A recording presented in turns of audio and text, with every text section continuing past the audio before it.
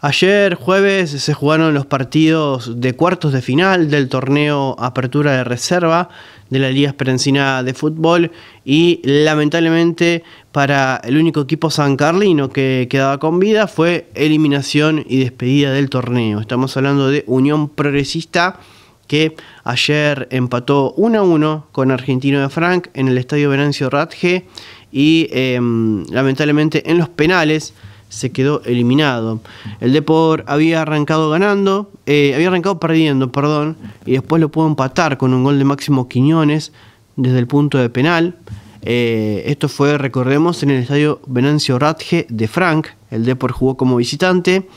eh, y en esta instancia ya no regía la ventaja deportiva, así que en caso de igualdad, cada uno de los partidos que, que, que mm, terminasen empatados se definían en los penales y este fue el caso. Empataron 1 a 1 y en los penales el más certero fue Argentino de Frank, que se quedó con eh, la tanda por un resultado final de 5 a 4 y de esta manera el conjunto franquino ya está en las semifinales del campeonato. También em, se jugaron estos partidos, San Lorenzo que le ganó 1 a 0 como local a San Martín de Progreso,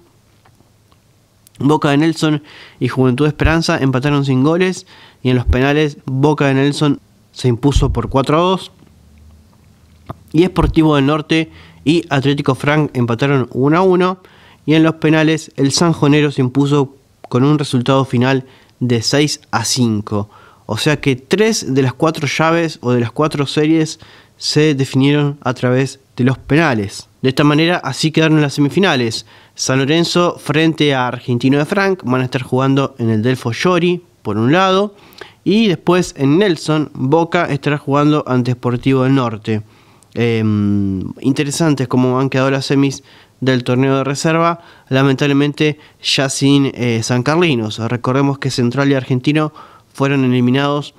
en la fase previa, en octavos de final, justamente Argentino cayó ante Boca de Nelson, que es el equipo que está en semifinales, un equipo que sorpresivamente está en semifinales, y curiosamente Central quedó fuera ante Sportivo, que también está en semifinales, y que se van a estar enfrentando entre ellos. Así que uno de los dos, Boca de Nelson o Sportivo, perdugos de Central y de Argentino, se va a meter en la final. Y después tenemos Argentino de Frank y San Lorenzo, Argentino de Frank que dejó en el camino al Depor que se había ilusionado con poder llegar a, pelear eh, o a intentar llegar lo más lejos posible en este campeonato, siendo que